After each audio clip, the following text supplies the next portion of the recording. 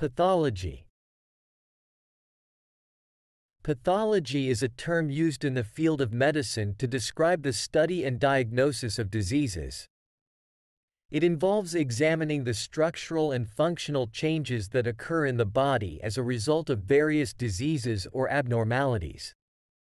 Pathology helps doctors and healthcare professionals understand the causes, mechanisms, and effects of diseases, which in turn helps them in making accurate diagnoses and developing appropriate treatment plans. Pathology can be divided into two main branches Anatomic pathology and clinical pathology. 1. Anatomic pathology. This branch of pathology focuses on the examination of organs, tissues, and cells under a microscope to identify diseases. It involves studying the structural changes that occur in the body due to diseases. Examples of anatomic pathology include histopathology, this involves studying changes in tissues at a microscopic level. For example, a biopsy of a suspicious skin lesion may be examined under a microscope to diagnose skin cancer. Cytopathology. This involves studying individual cells to diagnose diseases. For instance, a pap smear is a type of cytopathology test used to detect abnormal cells in the cervix, which may indicate cervical cancer. 2. Clinical pathology.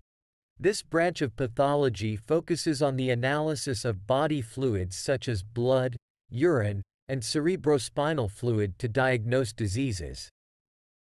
It involves studying the biochemical, hematological, and immunological changes that occur in the body. Examples of clinical pathology include hematology, this involves analyzing blood samples to diagnose conditions such as anemia, leukemia, or clotting disorders. Clinical chemistry. This involves analyzing body fluids for various chemicals and enzymes to assess organ function. For example, liver function tests measure the levels of certain enzymes in the blood to evaluate liver health. Microbiology. This involves identifying and studying microorganisms like bacteria or viruses that cause infections. For instance, a culture of a throat swab can be done to identify the bacteria responsible for a throat infection.